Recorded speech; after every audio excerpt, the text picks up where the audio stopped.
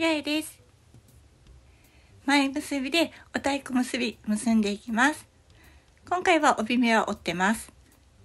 縫い目がある方を首側にして肩にかけます。クリップで留めて2周巻きます。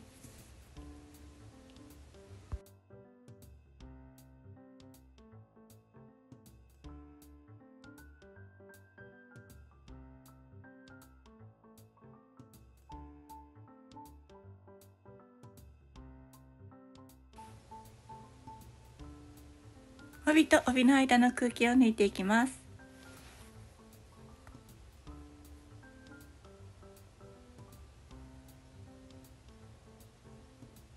正面から向こう側に持ってってクリップで留めます。もう一方の帯を下に引っ張ります。こんな感じの斜めに2枚とも同時に折っていきます。そうすると下の帯は横に行って横の帯が上に行く形になります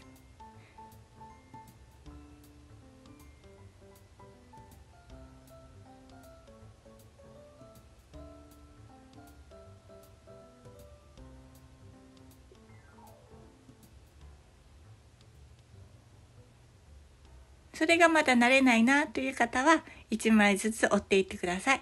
まず下にある帯を横に持っていってクリップで留めます。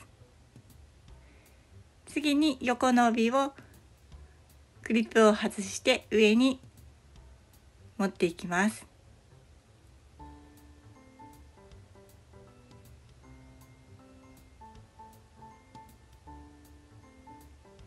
腰紐をします。これはすぐに外すので、後ろで結ぶのはしんどいので、横で結んでください。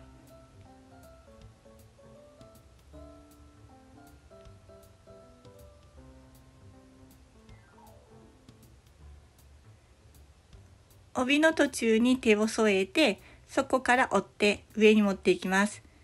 広げた帯の間に帯枕を入れていきます。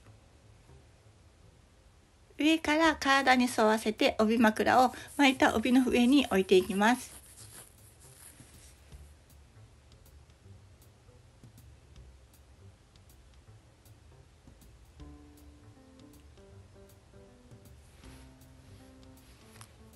後ろか横で結んでください。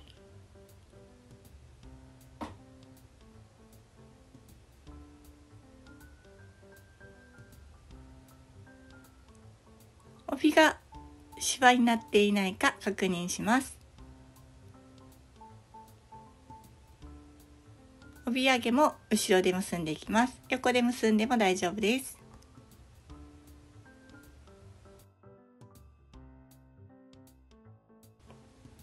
帯枕をしたので先ほどした腰紐は取り除いていきます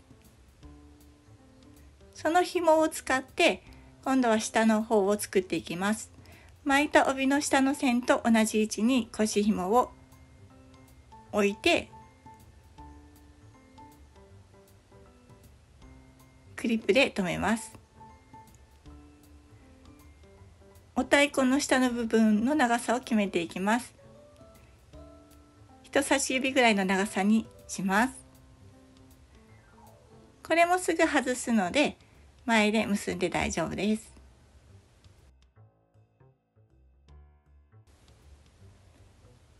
クリップを外して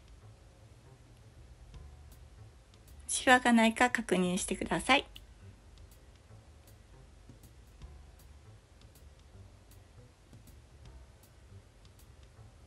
こちらの帯をお太鼓の中に入れていきます。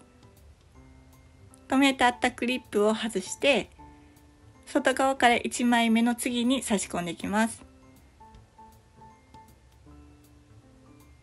ここがポイントなんですけどお太鼓から少し出るぐらいにしたいので帯が長すぎたらこの部分を内側に折ります。こんな風に折っていきます。こんな感じで長さ調整ができます。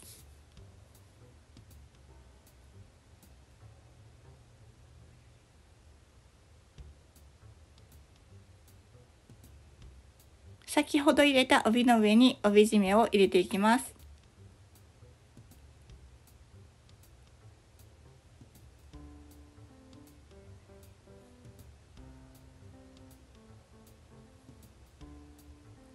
後ろで結びます。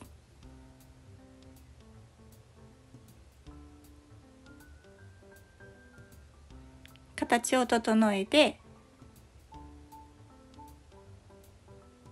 腰紐を取ります。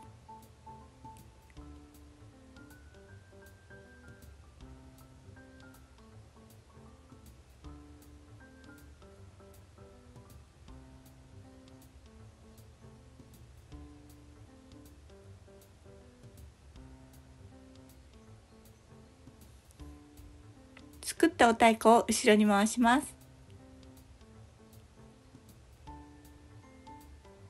後ろを鏡でチェックしてください。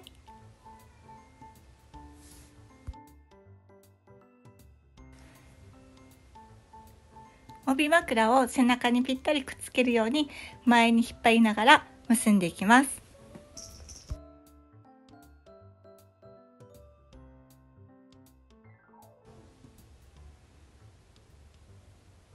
できるだけ帯の奥の方に差し込んでいきます。